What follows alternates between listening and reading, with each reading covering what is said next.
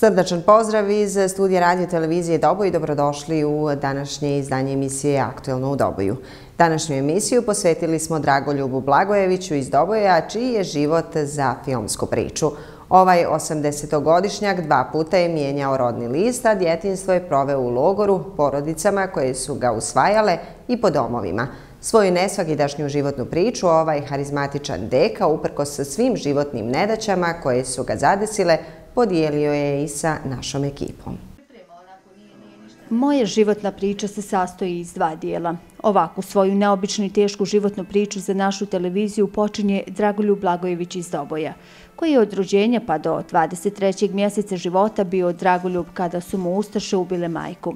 Sve do 24. godine bio je Omer Sinanović, a od tada ono što jeste Dragoljub Blagojević. Sve je počelo 9. decembra 1941. godine, kada Dragoljubova majka nije uspjela da umakne krvnicima Jure Francetića u Doboju. Ovaj dio priče mi je ispričao moj pokojni stari, da je 9.12.1941. godine Francetićeva crna legija iz pravca Lipca prema Šovarlijama i dalje. Izvršila proboj i da je u svom, svom putu sve živo što je našla i što je mogla pobila, kuće popalila, a moj otac je za vrijeme drugog svjetskog rata nije bio na prvoj liniji, nego je bio u pozadini na sakupljanju hrane, odjeće i obuće za borce i kad se sakupi određena količina dođu iz komande i to odnesu i onda on dalje opet sakuplja. U to vrijeme i tog dana je moj stari bio u gornjem pridjelu na zadatku i kad je čuo, a i vidio plamen u selu, onda je on došao kući, imao šta da vidi, kuća u plamenu, žene i djece nema. Ja sam imao 21-22 mjeseca, sestra je imala 3 mjeseca. I nas je majka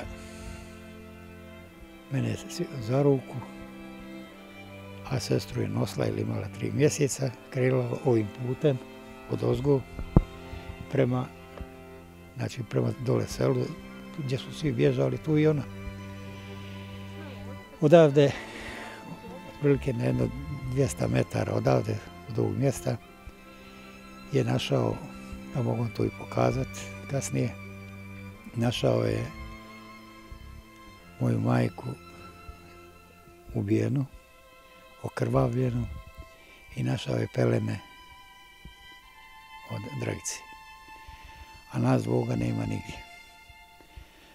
On je, koga god je se sreo, pitao za, za, za nas dvoje, nikomu nije mogao ništa odgovoriti.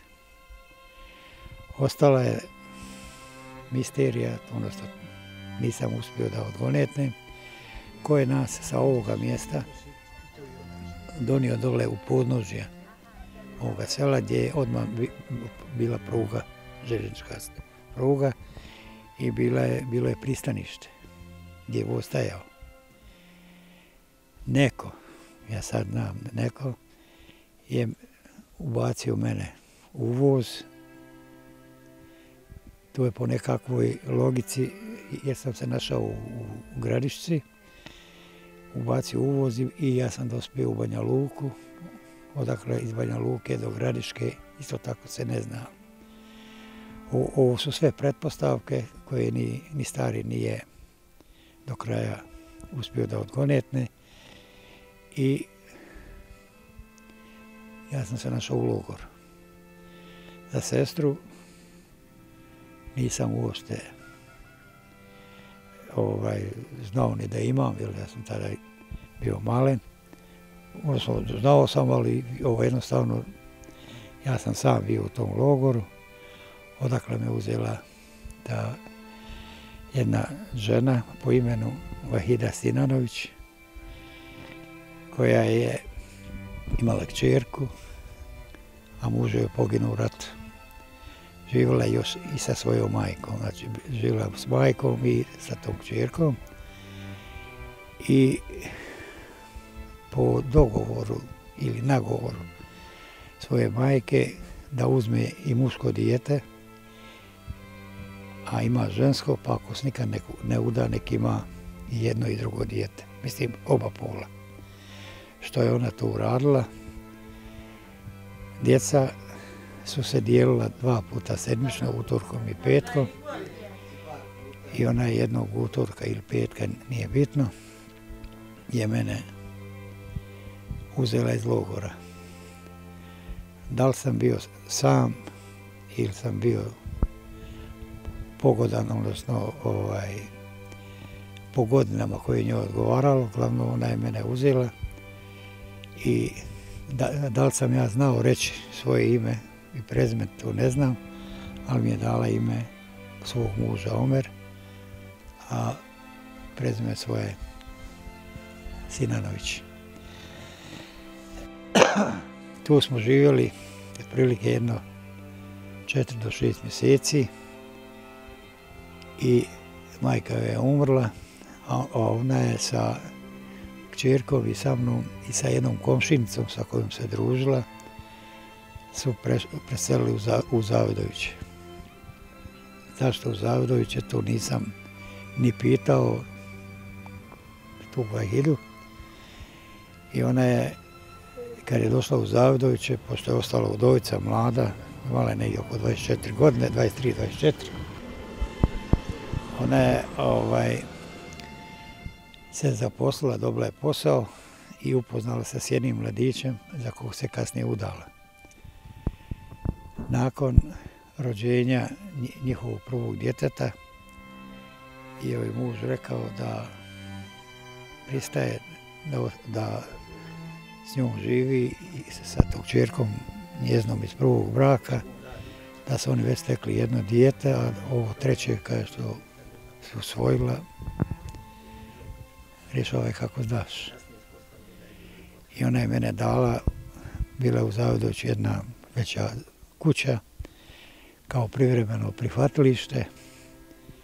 Tu me dala, predala i nekoliko puta posjećivala i kad je jedan put došla, mene nema. Tu u prihvatilištu, gdje su me iz prihvatilišta iz, iz poslali, odnosno gdje su me primjestili, to ne znam. Od cepa sve do 1948. godine kada se našao u državnom dječjem domu u Tešnju, Dragoljub kaže kao da je prespavao. Tu sam se, mogu reći, probudio jer mi je cijeli period prethodni sam kao u magli, kao da sam prespavao taj dio jednostavno se ne, mogu decidno recimo sad reći gdje sam bio, u kojem domu, koliko, a bio sam prema kasnijim saznanjima u Bijeljini, u Kiseljaku kod Sarajeva, u Jakešu kod Modriće, iz kojeg sam doma došao u Tešanj, ne znam. Tog dana, znači negdje maj, juni mjesec 48. godine sam došao u Tešanj. U toku boravka u Tešnju sam stekao dosta drugova, vršnjaka svojih, a da bi u septembru mjesecu te godine mogao se upisati u prvi razred, morao sam imati neko godište. I ja sam to godište ovaj, odredio prema svojim vršnjacima. Pitao sam koliko ti imaš, koliko ti, koliko ti godina, odnosno koje godište, pa sam ja sebe odredio da sam 1941. godište. Da bi sa sedam godina mogao se upisati u prvi razred. Tamo sam završio ovaj, osmogodišnju školu 1956. godine i pošto sam se te godine od 1948. zatekao, opština je bila dužna da me izdržava do po završetku srednje škole. i po završetku, znači osmogodišnje škole su me smjestili u, tad se zvao srednjoškolski đački dom u Doboju e, i stipendiju sa, sa stipendijom mjesečno od 6000 dinara, sjećam se dobro, u što je bilo uključeno stanovanje, hrana, odjeća, obuća i knjige. Po završetku srednje škole, a neposredno pred polazak u vojsku, Dragoljub je odlučio da ispita svoje tadašnje ime Omer i sazna nešto više o svojoj lozi. Pred završetak ekonomske škole, znači negdje 60. 61. sam došao, jer već tad sam imao 20 godina, iako sam imao 21, ali sam imao 20, razmišljao o odlasku u vojsku ko će meni u vojsci pisat, kome ću ja se javiti da sam stigao, kome ću poslati odijelo civilno. To su sve bila pitanja bez odgovora. I ovaj, došao sam na pomisao da, da pokušam, da vidim je li to moje ime i prezme koje sam nosio, koje sam tada nosio, da li je to moje prezme, ima li ko živ, pa moguće da su i otac i majka poginuli. Da sam možda imao brata i sestru, pa i oni poginuli. Ali nemoguće je da je cijela loza, da ima rođak, da ima stric, uja. Neko, nekom je ostao živ, ko će mi reći ako su i otac i majka poginuli, gdje su njihovi grobovi. I u tom razmišljanju, a to je već bio period kada sam po završetku ekonomske škole se morao javiti u Tešanj, jer sam bio njihov stipendista, da bi u Tešnju proveo negdje oko šest mjeseci i na lični zahtjev prebačen u Narodnu banku filijala Doboj.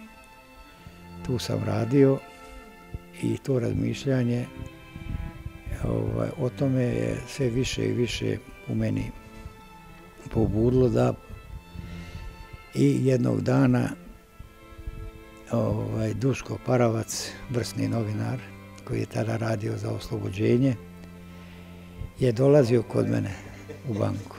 I ja sam njega zamolio, rekao, bi li mi nešto pomogli? Gledao ono, veli šta ja sad mogu njemu pomoći. Ovaj, imam, rekao, problem, jedan ne znam, rekao, ni za koga, ne znam ništa. A znam da ste vi vrsta novinar, da objavite u napišete članak jedan o meni, pa valjda se neko javiti. Ja sam njemu ispričao to da osim imena i prezimena, da li je to moje, da li nije, ne znam ništa drugo, ali rekao, negdje mi je u podsvijesti da je tu kuća niska prizemna, da ima u blizini vinograd, i da je željeznička pruga blizu. Da li je to iz nekih filmova, da li je to iz neke knjige ili sam ja to jednostavno sebi zamislio, rekao jedino se toga, ajmo reći, sjećam. I on je stvarno to napisao. Jednog ponedeljka, kao i svaki dan, sam došao na posao i u moju kancelariju je ušao moj jedan prijatelj, Đorđe Ilić. On je nažalost preminuo.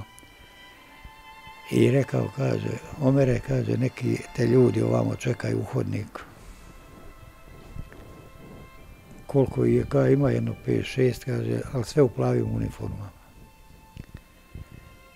Nedugo zatim ja sam otvorio vrata, pogledao, hodnik jedno 20 metara dug i krenuo sam prema njima. Oni su napravili krug i ja kad sam krenuo prema njima, koliko god sam ja brzinom išao njima, prema njima, oni su se sve više udaljavali od mene. Tako sam ja stekao dojam, pa nikad stići kod njih. I napokon sam došao, otvorili su krug, ja sam ušao u taj krug, opet je zatvoren ispod kad sam pogledao sve sto stariji ljudi, a među njima je bila jedna žena. Nastao je tajac, jedno desetak, 15 sekundi. Niti oni mene šta pitaju, niti ja njih. I neko ko da me na uhu reče da javi se u redi, da se ti prvi javiš. Ja sam onda njima rekao dobar dan i s kim sam se prvo pozdravio sa osobom koja je bila iza mojih leđa, ne znajući ko je ko. I tek onda sa ostalim, da bi na kraju sa tom ženom koja je bila tu. Kasnije sam se okrenuo, vidio sam taj čovjek kome sam prvo pružio ruku, osmijeh na licu, a istovremeno ovaj grčenje ovaj, obraza, izvadio iz džepa novinski članak na kojem je sam se moja slika vidi. Pita mene, jesi li ti ovo, rekao jesam. Pa kaže, ja sam izgubio sina u toku rata, pa sam došao da porazgovaram. Ja sam taj isti dan imao bicikl. Bicikl imao kao prevozno sredstvo. Sjeo, rekao on meni u kom selu i znam kako se zove i preziva. Krenuo posle radnog vremena, krenuo kući mog nesuđenog oca. Tako smo sjeli, pa nije prošlo desetak, 15, možda 20 minuta.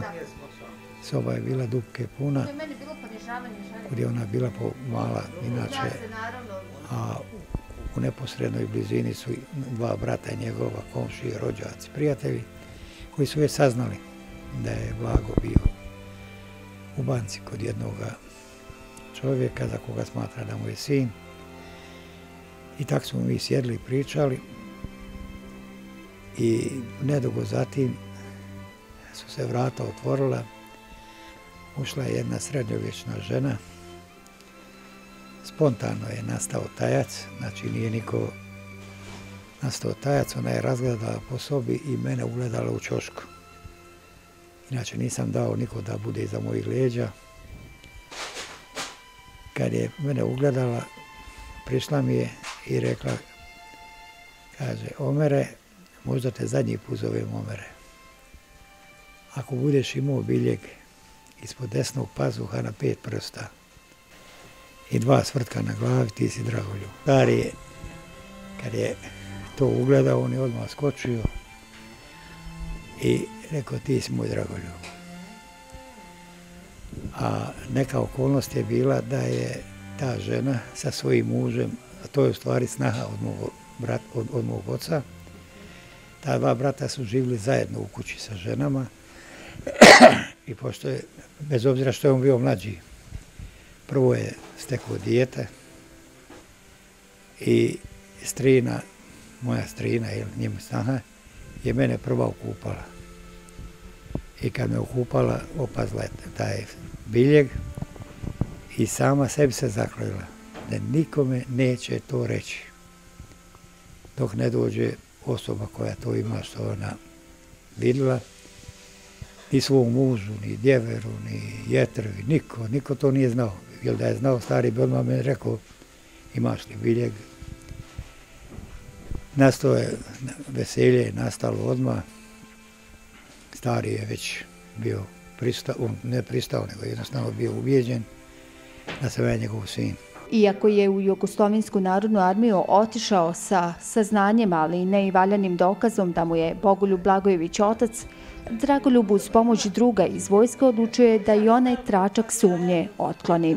U Zavodu za, za, za kriminološka ispitivanja, gdje su po tadašnjim najsavremenijim metodama a, ustanovili da smo mi otac i sin sa 91% vjerovatnoći. Tek sam ja, onda smo, kad nam je to saopšteno, a saopšteno je u roku od jedno dva sata nakon obavljenih tih svih pregleda, onda sam ja tek bio siguran, a i stari pogotovo. Pali smo u zagrlja jedan drugog, tu je bilo i, i suza, bilo je alo ni radosnice. Očili smo u jedan restoran dole čekajući voz.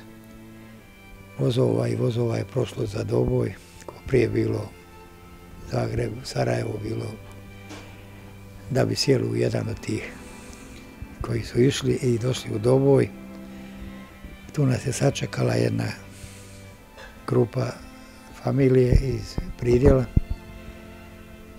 Došli smo kući, tu je nastalo veselje. Onda sam tek, što kaže, siguran bio da, da nisam Omer, nego Dragoljub. Nakon tog velikog saznanja i slavlja, Dragoljub se vraća svojoj vojnoj dužnosti. Ubrzo mu u posjetu stiže i otac ili ti stari, kako ga je Dragoljub zvao. U pratnji svoje treće supruge, bratića te kolega iz sindikata Željeznice i Privredne banke, koji mu donosi pisani trag da je on zapravo Dragoljub. Što se tiče njegove sestre Dragice, za nju se zna da je ostala Fadila i žive u Maglaju. Nisu u dobrim odnosima, upravo zbog različitih pogleda na mjeru i današnje njihove živote. Zadnji put su se vidjeli 1962. godine.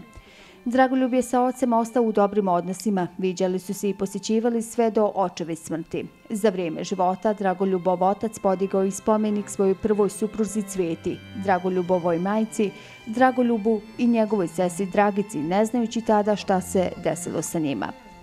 Sa majčine strane, s majčine strane sam imao do, do prije godinu dana tetku, Mijoljka Ilić, ona je u Ustaničkoj tamo živjela, a ima kćerku, ovaj,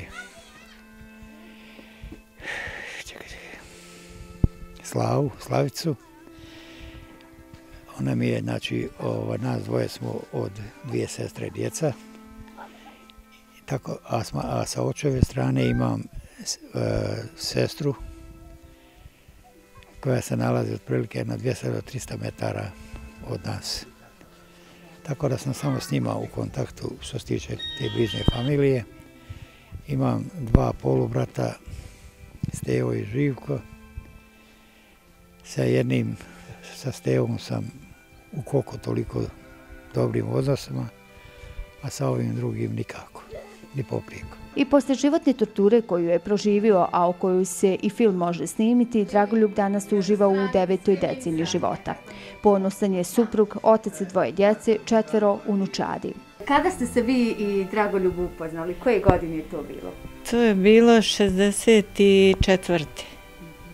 64. negdje možda krajem godine, a 65. u februar su uzeli, jer je on došao dole sa mojim ujakom po neku rakiju i onda je zagledao se, ja nisam imala pojma, ja sam ni, i Ljubavna, ljubav je to bila, je li tako? Yes. A jeste vi, jeste vi bili upoznati sa njegovom životnom pričom? Je li vam rekao prije nego što ste se vjenčali? Se, a nije, pa nije imao kad, on je odmah, čim je došao i otišao kući, odmah je od ozgo poslao pismo, nije bilo telefona.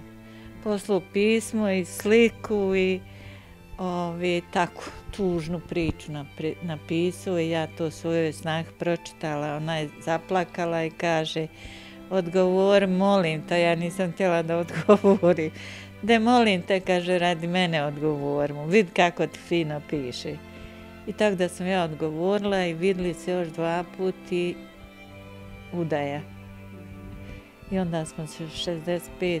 13. februara uzeli, vjenčali i od tada smo, kažu, sretni bili. Započeli smo živiti, nismo imali nigde ništa, ni on, ni ja. Meni malo moji pomognu, malo njegova plata i tako. Onda smo dobili stan, pa smo, djeca se našla i hvala Bogu, evo, sve je išlo dobro. Ja sam danas sretan čovjek. Imam eto kćerku, imamo ja i supruga, jel, kćerku i sina. Oni su ovaj, u sretnim brakovima, imaju po dvoje djece. Ja i supruga smo eto već 55 godina u braku. Obilježili smo 50 godina prije 5 godina. Imam bez rezervnu podršku od strane djece i mogu reći i ja i supruga smo u penziji, skromne su penzije, ali kolike tolike, da sam veoma sretan čovjek. Svoju neobičnu životnu priču ove 80-godišnjak odlučio i da ukoriči. Knjiga je u štampi, a na koricama ovog životnog štiva bit će ispisan naslov od Omera do Dragoljuba. Bilo bi to sve što smo vam pripremili u današnjem izdanju emisije Aktualno u Doboju. Želim vam ugodan ostatak dana i večeri.